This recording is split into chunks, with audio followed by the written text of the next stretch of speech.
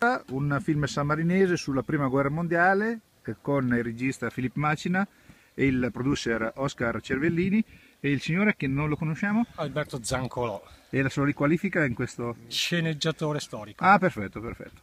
Due parole? Parole. Due parole su questo, su questo, diciamo che, allora, su questo film. Oggi abbiamo finito la, le, le, riprese delle prime due giornate di, di produzione di, di, questa, di questo film. Eh, abbiamo viaggiato ieri e oggi, stamattina, siamo arrivati alle quattro e mezza e adesso... Alle quattro mesi di questa mattina? Alle quattro mesi di stamattina. Complimenti.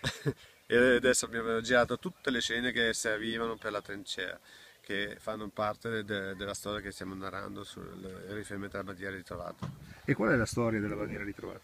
La bandiera ritrovata è una storia tutta sammarinese perché la Repubblica di San Marino nella prima guerra mondiale ha partecipato con un'organizzazione di un ospedale in prima linea, fu situato in prima linea eh, nelle montagne del Carso e lungo la linea dei combattimenti è gestito da volontari sammarinesi, medici eccetera eccetera e, mm, e la storia ha tante storie eroiche anche di sammarinesi stessi in prima persona. Ottimo, sicuramente sarà un ottimo lavoro perché abbiamo visto già l'altro, l'altro sì, film tutta del, la storia del Trenino Biancazzurro eh, del Trenino Biancazzurro che è stato girato molto bene, complimenti. Grazie.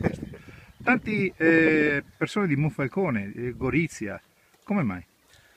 Abbiamo cercato i rievocatori storici che fossero più adeguati anche alla situazione che riproponevamo, cioè le battaglie del Carso, perciò molti friulani, veneti, tutta gente del posto, e si sono offerti molto disponibilmente per fare tutto questo. Cerchiamo di essere il più realistici possibile anche nella parlata nel Veneto. Lei che è storico, eh, il discorso di, di, questa, di, questo campo base, di questo ospedale sammarinese, è ricordato? È, è stato difficile trovare poi documenti relativi a questo, questo episodio? Uh, sì, ci sono state parecchie difficoltà a livello proprio di ricostruire completamente la storia, anche se abbiamo avuto un grandissimo aiuto per, per molta documentazione.